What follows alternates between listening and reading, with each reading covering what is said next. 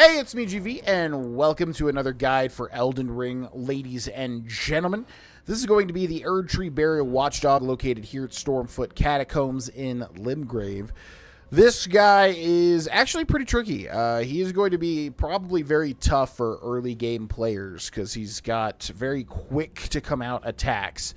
But biggest tip for this guy is stay behind him. He's got two attacks if you stay behind him that are kind of easy to dodge or roll. Uh, otherwise, yeah, a lot of his stuff is very forward facing. Uh, when he does this, roll the last second, the last possible second, uh, because that will have an aftershock. So when he does this, he's going to do a quick swipe. That's the only thing we have to worry about uh, when we're behind him. He'll also slam his tail down. Uh, when he starts breathing fire, you can get a couple of free hits on him, but do be prepared to sprint around him because he will turn around quickly. He's also going to walk towards us and slam down. Yeah, you can see how fast his attacks come out. Extremely quick. That's kind of the challenge with this boss.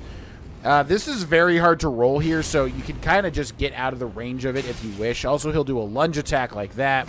He'll do a slam attack like that. He's going to do the spin around attack here. Yeah, we want to just stay behind him, but he is not letting me do that in this particular run here. We're going to heal, and we're going to roll that. And now if we can get behind him, I'll show you that that is his weak spot especially when he starts breathing fire. But we want to run here because he's going to do a quick spurt and usually catch us off guard with it as well. Okay, and roll. Yeah, let's stick behind him, deal some damage. So he's also got a tail slam, which he is refusing to use, uh, where he'll slam his fiery tail downwards. You want to watch out for that as well. But you can see, yeah, his back is his weak spot because he's just got that swipe that he'll uh, punish you with, and he's just got the tail slammed down, which we're not seeing. If you stay in front of him, you're just liable to be hit by all of these other attacks here. Yeah, you can see that we can simply just strafe this attack here. He's just going to keep walking. He's just going to keep walking, huh, guy? All right, I'm, I mean, yeah, that's fine. I'm going to hit you a couple more times. And if you can, before we kill you, can you slam your tail down for the people? I want you to slam your tail down for the people. He's also got that very wide side swipe that is kind of annoying to um, to dodge as well. Yeah, if you could slam down your tail, I want to show off that attack. Yeah, we've seen that one. Yep, we've seen that one. Yeah, we've seen that one. Now, if you could slam... Okay, yeah, okay, we've seen this one quite a lot, buddy. If you could slam down your tail... Yeah, look at the range of that, that aftershock. Uh, roll into that thrust, by the way. He's going to do the uh, spin around. Okay, can you slam your tail down, my dude?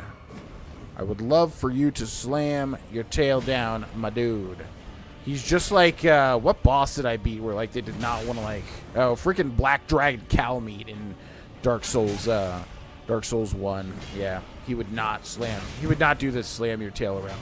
All right, well, if you don't want to do it, then we're just going to end you. But Erdtree Burial Watchdog, actually tricky actually a little tough for uh, early game players, especially, I'm sure, uh, just because he's got a lot. But stay behind him, and yeah, just watch out for that big swing that he does.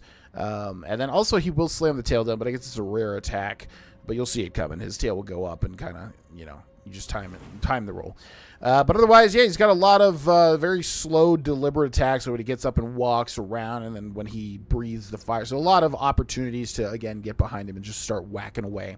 Uh, another boss, you know, all these mini boss sort of things, you can just be super duper aggressive, which I'm trying not to be because I want to show the actual move sets. But hopefully, this guide helped, ladies and gentlemen. Thanks so much for watching. Check out the playlist, links in the description below, and I'll see you in the next video. Bye bye.